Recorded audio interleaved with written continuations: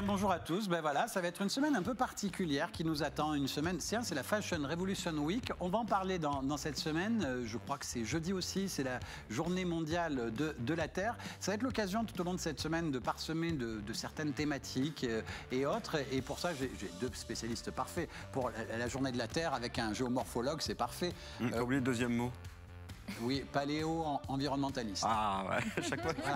Mais, mais j'allais dire, pour le côté terre, le géomorphologue, c'est plutôt pas mal. Ah, c'est plutôt mon métier, oui. Et euh, tu vas nous, justement nous tramer, justement, tu nous prépares une chronique spéciale pour la journée de la Terre. Oui. On va aller sur les bords de plage avec toi à Cabasson, à Pellegrin. Exactement.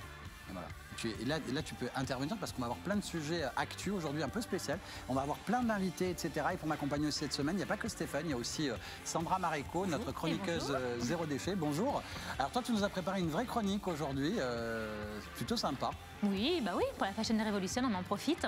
On va parler fringues fringues, mais, mais, avec une idée un peu recyclage. Ah, tout à fait. Zéro déchet. Hein. Zéro déchet. et puis on aura toutes sortes d'invités. On va parler environnement, etc. Et par, et par le biais de plein d'invités, on va commencer tout à l'heure par euh, Sidonie euh, Dumoulin qui est avec nous. Bonjour Sidonie.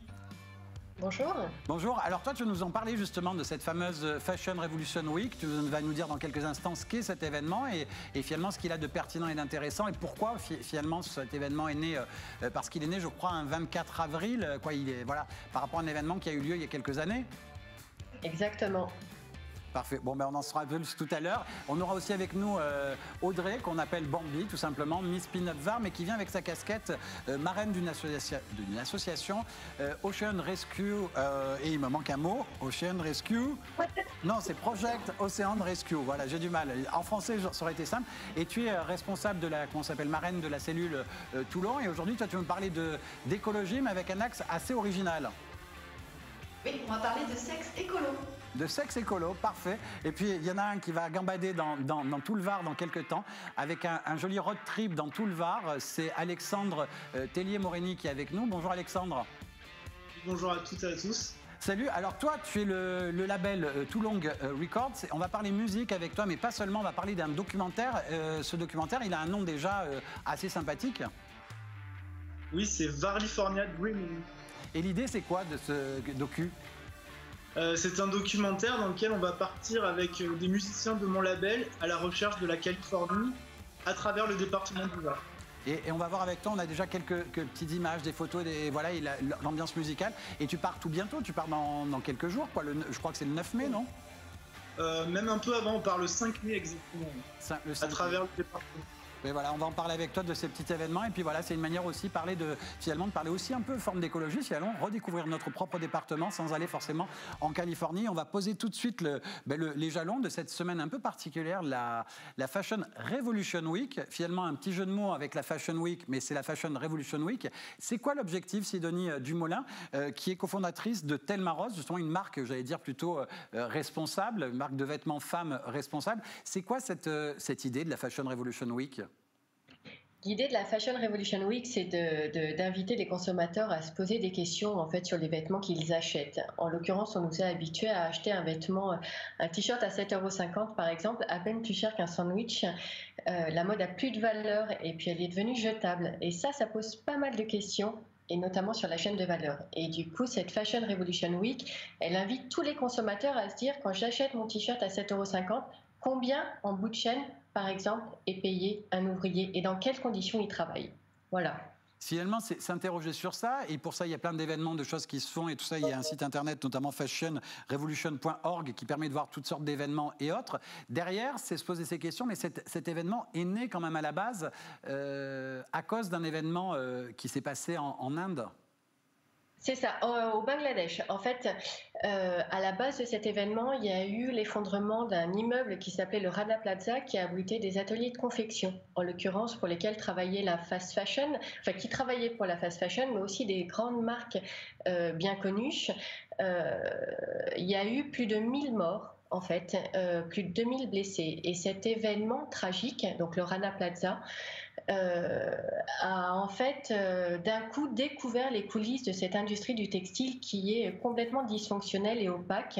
Et il a révélé effectivement des, des conditions désastreuses dans lesquelles travaillaient les ouvriers, des salaires hyper bas, des heures de travail excessives et également le non-respect des normes de travail. Voilà. Et, finalement, cet événement, c'est une manière euh, d'avoir choisi cette date-là, puisque c'est le 24 avril, et là, la semaine, ça a lieu du 19 au, 23 avril, au 25 avril. Euh, on choisit vraiment cette période-là aussi euh, pour justement avoir comme une date dite de commémoration et de se rappeler ces choses-là, du côté le, mauvais, le travers de, ces choses-là. Et finalement, il y a aussi cette idée d'accoler, de même peut-être qui fabrique mes vêtements ou who, made my, clothes. voilà, c'est notamment ça. Mon anglais est parfait. Hein. Et je me suis entendu le dire, je me suis trouvé génial d'un seul coup. Et euh, c'est à peu près ça, quoi. En fait, tous les consommateurs sont invités à. Effectivement, l'idée, c'est de sensibiliser les consommateurs, de les inviter aussi à interpeller les marques avec cette affiche, avec le hashtag Who Made My Clothes, pour faire évoluer aussi les pratiques des marques. Ça, c'est faire évoluer la pratique des marques, c'est-à-dire que euh, finalement, c'est se poser cette question, donc euh, comment sont faits nos vêtements Parce que derrière, il y a peut-être des moyens aujourd'hui, c'est-à-dire que le coût du vêtement, c'est peut-être pas, euh, c'est peut-être pas forcément là, parce qu'on nous a habitués peut-être à être consommateurs et à acheter peut-être des, des vêtements peu chers, entre guillemets Exactement, ouais, exactement. En fait, il faut, euh, il est impératif de faire euh, évoluer effectivement ces pratiques des marques et il est impératif de remettre un peu de transparence au cœur de la chaîne de production. Quand on achète un t-shirt, euh, c'est quand même chouette de savoir où il a été produit, dans quelles conditions il a été produit, quelle est vraiment la matière. Toutes ces informations aujourd'hui, on ne les a pas, on ne les a que très peu en fait. Les produits aussi, peut-être les colorants, les produits chimiques qui sont utilisés, etc. et autres aussi? On ne sait pas. Oui, finalement, c'est ça, c'est sensibiliser à ça. Toi, tu, tu as cofondé une marque qui s'appelle euh, Telma Rose. Euh, je ris parce que j'ai failli dire une bêtise. Et euh, j'ai failli dire Telma Louise, mais non, c'est Telma Rose. Et, donc, et justement, il y a ce souci aussi, pareil, de création, de choix d'un certain coton, etc., d'aller dans quelque chose de plus éthique et responsable. Alors nous, effectivement, l'idée, c'est de remettre vraiment la qualité qui manque, qui manque aujourd'hui euh, au cœur de notre proposition en fait. Et c'est vrai que notre discours en fait porte sur le acheter moins, acheter mieux. On raconte tout sur notre chaîne de, de, de, valeur. On, raconte euh, nos partis pris, on raconte euh, nos erreurs, enfin pas nos erreurs, mais nos imperfections aussi. Mais dans l'idée, en fait, on fait du made in France, on est en circuit court, on source nos matières en France, en Italie. Nos matières premières viennent d'Autriche. elles sont certifiées au il n'y a pas d'intrants chimiques, on le dit, on est nous-mêmes en, labellisation euh, Origine France Garantie. Voilà, ça c'est la manière dont on travaille et en fait c'est ce qu'on raconte à nos clients. Ce que tu viens de dire, Sidonie, tu as parlé d'un label Ecotex, ça peut paraître, il peut paraître compliqué, alors que Ecotex, c'est un label assez simple à comprendre. Alors, label Ecotex, en fait, c'est un label qui garantit qu'il n'y a pas d'intrants chimiques toxiques pour la santé de l'homme et l'environnement. En fait, c'est la base c'est-à-dire que ce, petit label qui, est voilà, il, raconte quelque chose de simple. C'est-à-dire que avoir ce label-là, ça raconte vraiment voilà, il n'y a pas d'entrants chimiques euh, polluants et même pour nous aussi néfastes, etc. Donc c'est rassurant de l'avoir quasiment. Donc euh, et, c'est ça ah. aussi cette Fashion Revolution Week. C'est une manière aussi de communiquer un peu sur toutes ces infos et tout ce discours qui est autour. Exactement.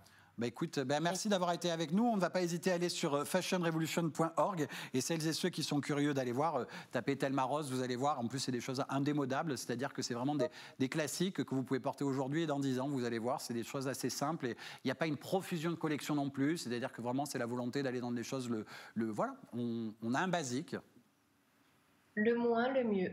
Voilà, le moins, le mieux. Ben, parfait. Ben, le moins, le mieux, ben, tiens, on va, on, va poursuivre avec Sandra Maréco. Quand on parle vêtements, toi, évidemment, avec ta casquette zéro déchet, tu penses tout de suite recyclage. Tu nous le disais tout à l'heure, de vêtements. Il y a des possibilités aussi de travailler sur le recyclage Oui, exactement. Comme dit Sidonie, donc le moins, le mieux, ce qu'il faut savoir, c'est qu'en 15 ans, il y a quand même 60% de vêtements en plus qui sont achetés. Donc on n'est pas du tout dans le moins, le mieux. Euh, et sur ces 60%, il n'y a que 32% qui sont Donc 68% restent dans le placard et bah, attendent une seconde vie.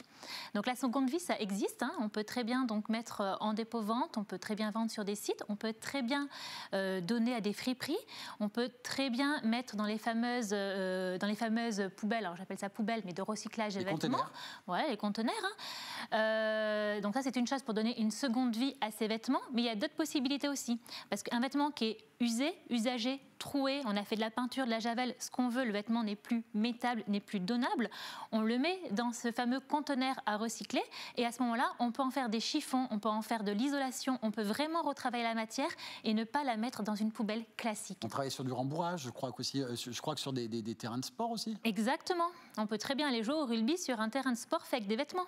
C'est-à-dire qu'en fin de compte, même les vêtements abîmés, euh, on se dit mince, non, on va pas le mettre là. Ça, ne va pas que pour être, ils ne vont pas là que pour être portés. Ils, sont, ils servent aussi de matière première à. C'est ça, du chiffonnage, à plein de choses. Donc tous les vêtements, que ce soit vêtements, chaussures, euh, draps, des matières, du linge de lit, euh, du linge de toilette, va dans la poubelle. Alors il faut qu'il soit bien sûr propre et sec. On va éviter de faire moisir tout le reste du conteneur.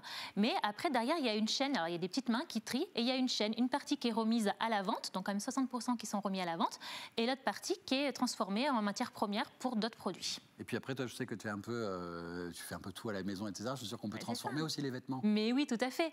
Là, alors, bon, j'ai pas une chemise, mais imagine que j'ai une chemise, je coupe la manche, je peux très bien en faire un sac à pain. Ah oui, voilà. Bah oui, là, hop, on se prend, on prend notre t-shirt, il est usagé euh, devant, mais derrière ça va. On le découpe, on peut se faire un biswrap. Le biswrap, tu sais, c'est le, c'est pour remplacer le, film plastique. D'accord. Voilà, donc en fait, on l'enduit de cire d'abeille, ça nous fait notre film alimentaire pour emballer bah, notre sandwich, par exemple, pour le midi. D'accord. Moi, je m'en sers beaucoup pour les vitres. Moi, je mets mes vieux chiffons. Euh. Mais tu peux faire plein de choses. T'as déjà fait des tawashi? Je ne sais même pas ce que c'est un tawashi déjà. Un tomagoshi, oui, mais pas un tawashi, je ne sais pas. Ils connaissent pas ça les gens. Ah, mais c'est ce qui est l'image alors. Voilà, le tawashi, c'est le petit truc rose au milieu, ça sert à faire, euh, à faire la vaisselle, c'est une éponge. Ça remplace l'éponge. D'accord. On évite, comme ça on peut la passer à la machine à laver, et on évite des milliards de bactéries au centimètre cube. D'accord. Tu, tu, es, tu es Tawashi, toi, ou pas du tout, euh, Stéphane? Euh, Non, je ne connaissais pas du tout. Enfin, j'en avais entendu parler, mais je ne connaissais pas. Et, mais moi, c'est pareil, mes vêtements, je les recycle. Et puis, je porte parfois des vêtements que je mettais quand j'avais 20 et quelques années. Mais tu as quand même toujours le même corps que quand tu avais 20 ans, toi. Exactement. Voilà, donc c'est normal. J'ai plus les mêmes cheveux. pas tout avoir. On ne peut pas tout avoir. Et euh, d'autres infos encore clés à savoir? Euh, bah, Si vous cherchez votre point de collecte, vous allez sur refashion.fr et après on a, on, a un, on a, un, petit truc où il est marqué citoyen justement parce que c'est professionnel ou citoyen.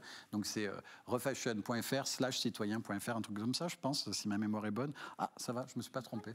Bon c'est parfait t'es au top. Sébastien est là et c'est lui aussi qui me soufflait sur les, les images qui étaient là à l'antenne. Heureusement que tu es là aussi Sébastien notre réalisateur. Parfait. Bah écoute sympa. Moi je vous propose un truc puisqu'on parle environnement jolie astuce jolie. Il y a, euh, il y a Marie-Lise qui nous a préparé euh, trois petites histoires courtes qui nous ramènent sur euh, euh, voilà, son côté un peu développement personnel. Il a eu envie de raconter trois petites histoires et trois petites versions d'environnement euh, sympa. Bon, bonjour Marie-Lise. Bonjour Philippe, bonjour à tous. Aujourd'hui, je voulais vous parler de trois bonnes nouvelles sur l'environnement. On entend souvent parler des mauvaises nouvelles, mais aujourd'hui, je voulais inverser la tendance et vous raconter trois belles choses qui s'y passent. Pour commencer, je voulais vous parler d'Adrien Ducoulou, qui est un apiculteur du Doubs et qui, pendant trois ans, a posé une caméra à côté d'un point d'eau.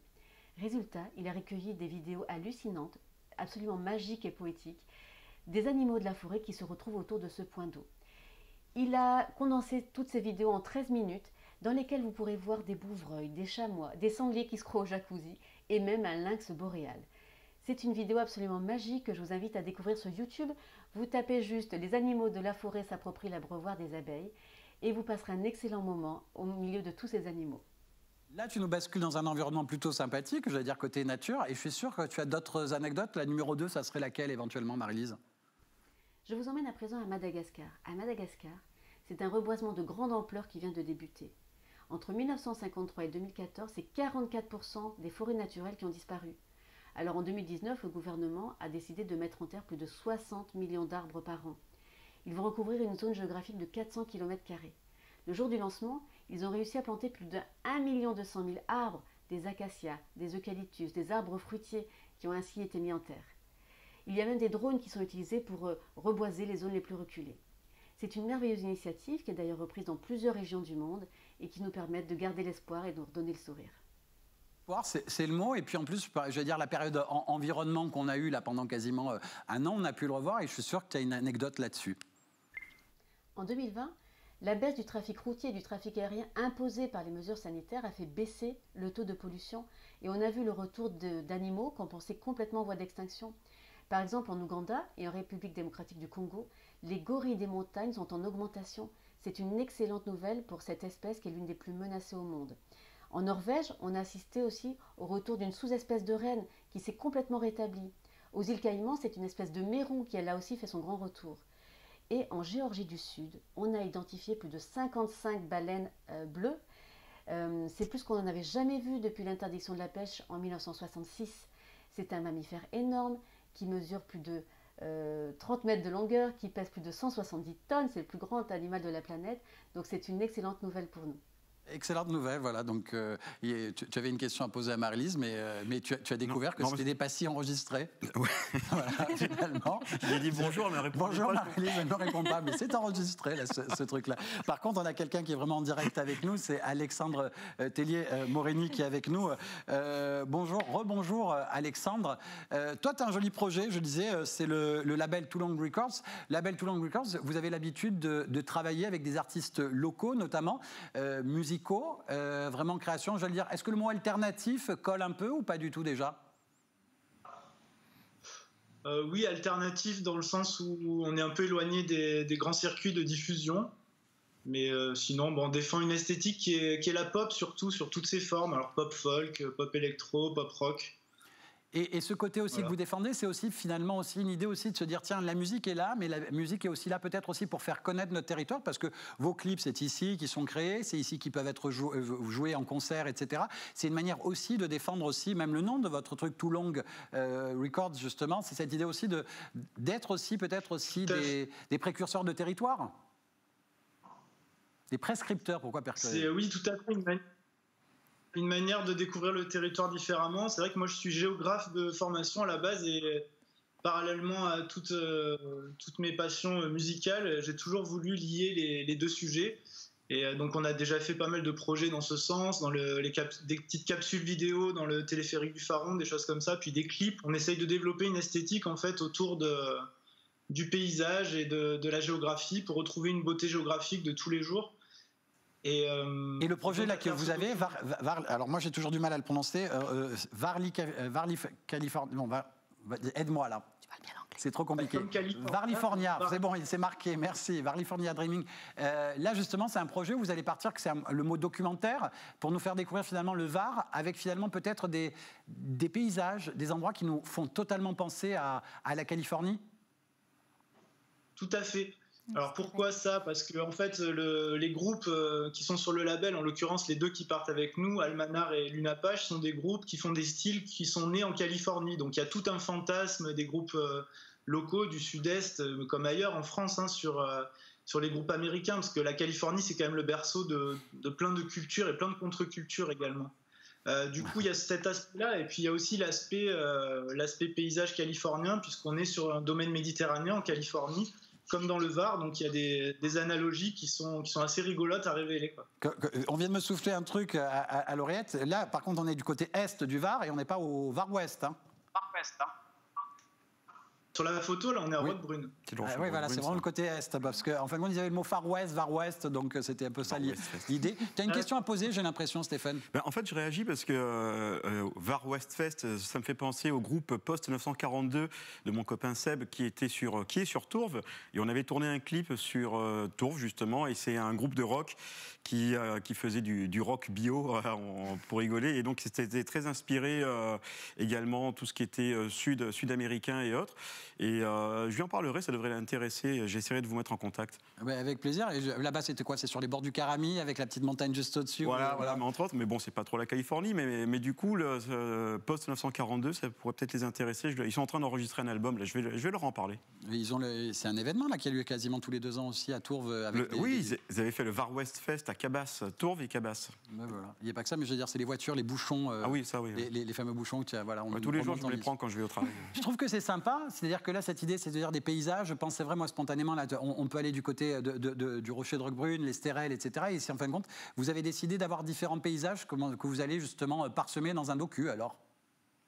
Exactement, voilà. Je travaille sur un parcours depuis deux ans maintenant, parce qu'il y a eu le Covid l'année dernière, on devait réaliser l'année dernière, mais finalement ça a été reporté, mais ça nous a permis d'approfondir un petit peu le parcours. Et donc il y a tout le volet littoral, comme on peut voir sur la carte, avec euh, des choses qui spontanément nous, viennent à l'esprit sur la comparaison avec la Californie, sur les modes de vie, le rapport à la nature, au sport, à la mer, etc. Tu sais quoi, Alexandre? Moi, je te propose de revenir la semaine prochaine, nous en parler un peu plus amplement et découvrir tous ces paysages et que tu nous fasses finalement un avant-goût de, de toute cette Californie euh, varoise, si tu veux bien. Ah bah avec plaisir, oui. Il y a Bon, bah, écoute, à dire. et en attendant, déjà, on peut retrouver euh, pas mal d'infos parce que vous êtes en, en financement participatif. Donc, voilà, n'hésitez pas à aller sur le site parce que justement, ils ont besoin d'argent pour euh, construire ce projet et il faut aller sur Toulon. euh, toulongrecords.com et, euh, et puis voilà et puis tu reviens la semaine prochaine pour nous en parler avec un, un peu plus de précision et là je- tu, tu peux tendre l'oreille on va parler de sexe mais écolo Très bien. bon bah voilà ne tends que l'oreille, hein. voilà. Donc, euh, et, et puis, ben, pour nous en parler, c'est Audrey euh, qui est avec nous. Dibambi, c'est la marraine d'une association euh, Project.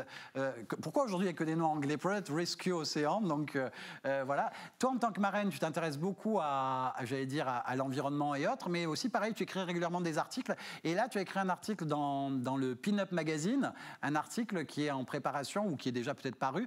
Et là, tu as parlé de sexe écolo. Finalement, c'est un domaine aussi où on peut être écolo? Oui, c'est ça. Alors, c'est sur culturepinup.com.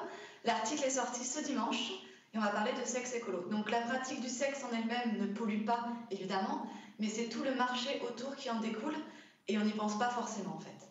Donc le marché qui en découle, donc si tu peux nous donner deux, trois petits euh, conseils pour être un peu plus écolo dans la démarche du marché qui, qui en découle, ça peut être quoi par exemple?